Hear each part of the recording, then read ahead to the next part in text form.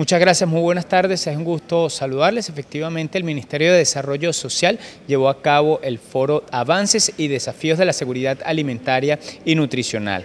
El ministro de Desarrollo Social, Alcibiades Vázquez, señaló que no quieren una sociedad dependiente y que seguirán combatiendo la pobreza y pobreza extrema con un aporte del 44% del presupuesto nacional del Estado en la agenda social.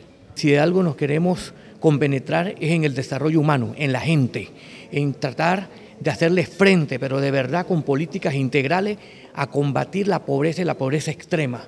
No queremos seguir aumentando una población dependiente, queremos una población que luche junto a nosotros para salir de ese entorno, porque la democracia real y la independencia de un país parte alimentando a su población. Si no podemos alimentar a la población, no podemos hablar de soberanía. El Plan de Seguridad Alimentaria y Nutricional tiene como objetivo promover el consumo diario de cinco porciones de frutas y hortalizas a fin de contribuir a la prevención de diversas enfermedades crónicas asociadas a la alimentación. El desafío principal es el hambre.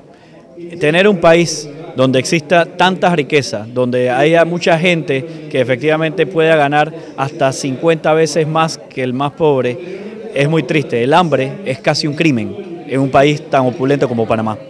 En el foro los especialistas expusieron la idea de crear un marco jurídico de derechos humanos especializados en seguridad alimentaria. Con esta información regresamos con ustedes a los estudios de CB24 Noticias. Buenas tardes.